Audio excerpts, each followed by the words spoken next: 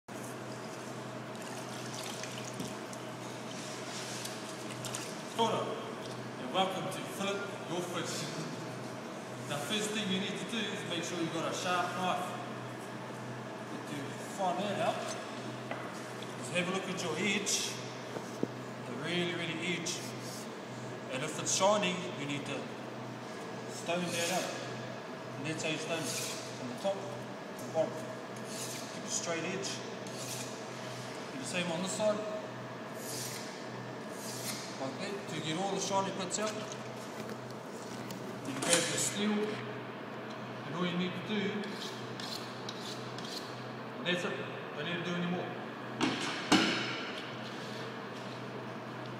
This is a cold bed stepper, and since I'm right handed, the head goes on the right shoulder,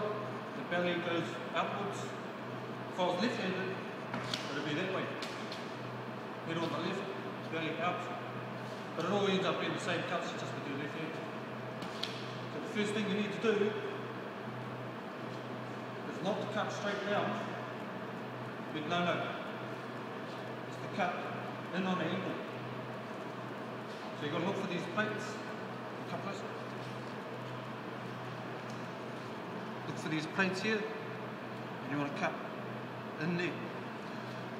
So first cut, so hold the tail, look at it hold the tail. And this should be an easy cut. Next one, while you're in there, you turn the knife around and imagine that's the spine of the fish, is the middle.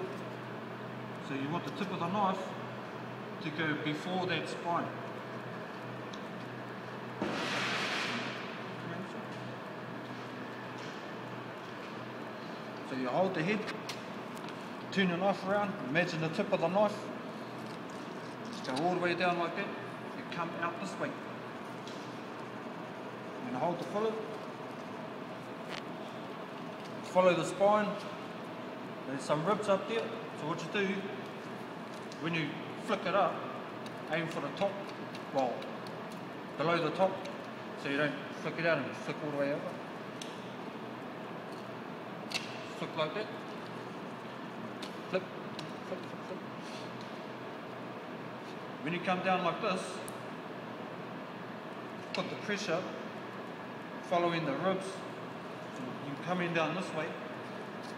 So when you hit the pressure on this part here, you follow the other side of the spine and you keep the angle, the knife angle like this. So you're going Okay, flip it out.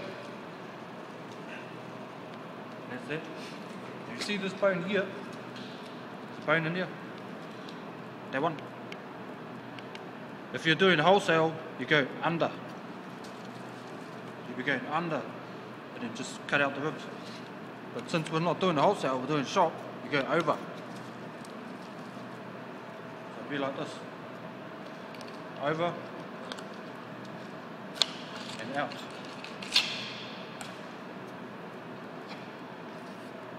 So you're left with that. pretty good recovery. You cut out the rest of the lining. Like so. And that's your first fillet. Do the other side. Head, left shoulder, belly out. Practically do the same. Look for those plates. In, around. turn the knife round, the end of the blade. So you just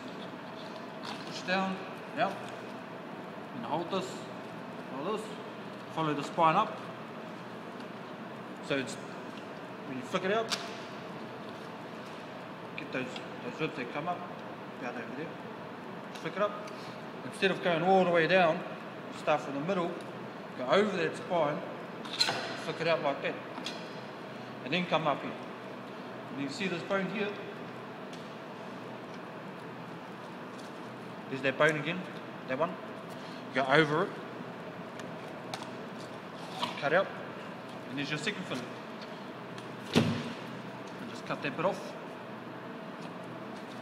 And that's how you do your fillets. Now to skin make a little incision between the flesh and the skin.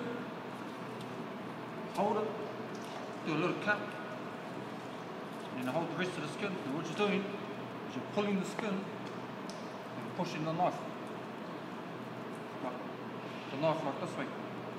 So it makes a clean cut. Like that. Now why we're pushing the knife that way is because when we stoned it, it's where the sharpness is.